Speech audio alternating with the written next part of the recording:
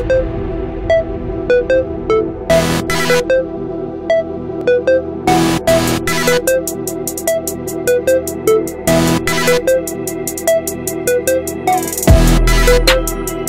sports fans nationwide. You have entered the Sports Opinion Log here in Lex Anderson World. And last night, February 6, 2021, the greatest rivalry in the ACC, perhaps the greatest rivalry in men's college basketball history.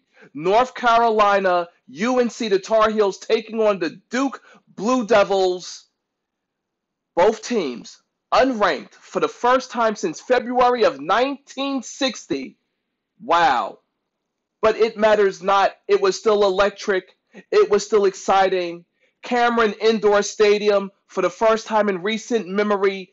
No fans in the stands. But that is all irrelevant because all that matters is that the Tar Heels got the win. Final score 91 to 87, breaking a three game losing streak to the Blue Devils. We're now 12 and 6. We dropped them even 7 and 7 at 500, which means hopefully we have also buried the chances of the Blue Devils getting in to the tournament. Caleb Love, season high 25 points. Leaky Black, Garrison Brooks, Walton, each 12 points apiece. Bacot joined the party with 16 points and was a terror in the paint, dominating the Flukies, the Fluke Devils. Shout out Allen 23 in Brooklyn, Maine, the resident UNC Tar Heel fans here in the Sports Opinion Log. And of course, let's not forget Day'Ron Sharpe, who also dropped 11 points. Total team effort. We got the victory. And all I can hope is that the tournament has a spot. There's a seat reserved for the Tar Heels, the true blue bloods down there in North Carolina. The Tar Heels shot 53%, hit 10 of 15 three pointers. That's what I'm talking about.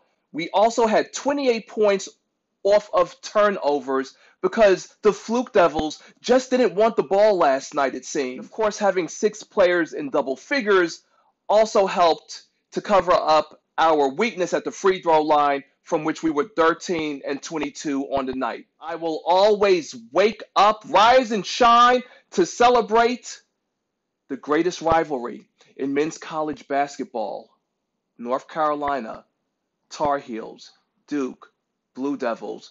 Three game losing streak, a thing of the past. We now move forward and onward Monday on the Nationwide Sports Leader, where we will be taking on the Miami Hurricanes, who are 7 and 11. So I look forward to another team victory. Thank you very much for tuning in as we've come to the end of this video. Until next time, sports fans nationwide, in particular, North Carolina Tar Heels sports fans nationwide. Lex Anderson signing out.